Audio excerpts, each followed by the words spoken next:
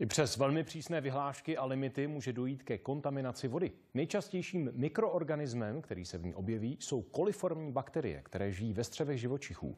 Nebezpečná může být ale taky legionela. Ta se v Česku objevuje stále častěji.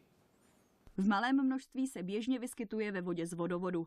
Problém nastává, když se tato bakterie rozmnoží. Legionella má optimum svého růstu mezi 25 a 45 stupni Celsia. Ideálním prostředím jsou pro ně přívody teplé vody, staré sprchové hlavice nebo kohoutky, kde se usazuje vodní kámen. Vdechnutí kapének s velkým množstvím bakterie může u některých lidí vyvolat takzvanou legionelózu, plicní onemocnění s příznaky podobnými chřipce. Legionela je riziková zejména pro oslabené osoby a pro starší, starší osoby. Takže v podstatě nejvíc ohroženou skupinou jsou staří lidé. Letos v lednu zaznamenali hygienici už 45 případů legionelózy. Jeden člověk zemřel, 10 lidí onemocnělo ve středočeském kraji, 7 v Královéhradeckém. V podstatě přenos člověka na člověka není, takže ty lidi, pokud to jejich zdravotní stav umožňuje, běžně leží i třeba na vícelůžkových pokojích. Když člověk přijede eh, do vlastně do neznámého místa, eh, tak je dobré prostě pořádně tu vodu, vodu každopádně odtočit. Zabránit množení bakterie se dá pravidelným čištěním přívodů, například proplachováním horkou vodou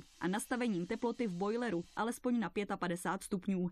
Zejména veřejné instituce toto dělají pravidelně. V nočních hodinách, cca jednou za čtyři dny, probíhá k takzvané tepelné dezinfekci zásobníků, což je to, který se nahřeje nějaký 65-70 stupňů. Kdyby tam nějaké bakterie, byly veškeré bakterie v tu chvíli zaniknou. Od roku 2014 výskyt legionelózy jen s malými propady stoupá. Zatímco tehdy hygienici evidovali 110 případů za celý rok, loni jich bylo už 340.